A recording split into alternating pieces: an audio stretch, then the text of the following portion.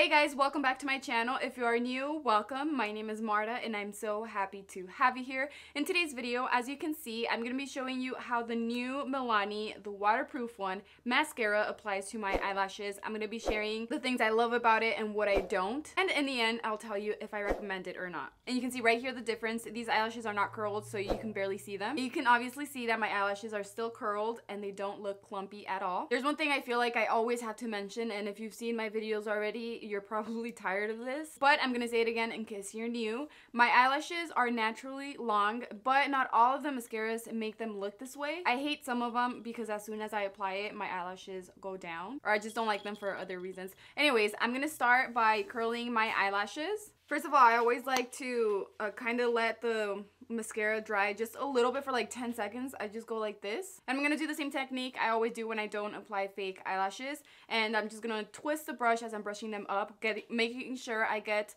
every single little hair and from the roots all the way to the tip of my eyelashes. And by the way, I have tried this mascara before, so this is not like a first impression kind of video. Just because I wanted to test it and see if it is waterproof, and I can tell you guys that it is 100% waterproof, it's rainproof, tear-proof, sweat proof. It's not going to smudge or transfer on your eyelid or lower lash line. And as you can see, it will not weigh your eyelashes down. And then the wand is always the first thing I look at when I'm buying a mascara because to me that's important. Obviously also the formula, but the brush makes a big difference to like how it brushes my eyelashes and leaves my eyelashes and it's just full of little bristles close together, which I love. This will lengthen and volumize your eyelashes without clumping up or flaking. I actually bought this on their website for $9.99 because I didn't find it at Target or Walmart. And I'm not sure when they're to have it in stores.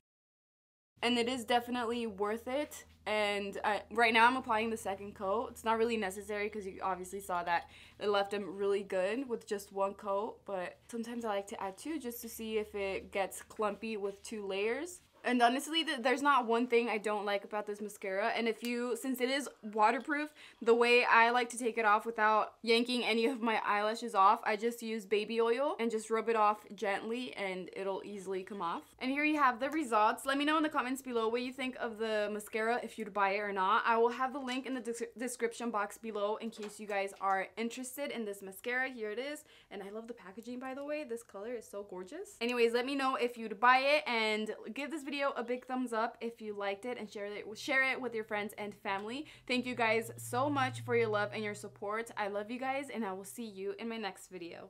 Bye!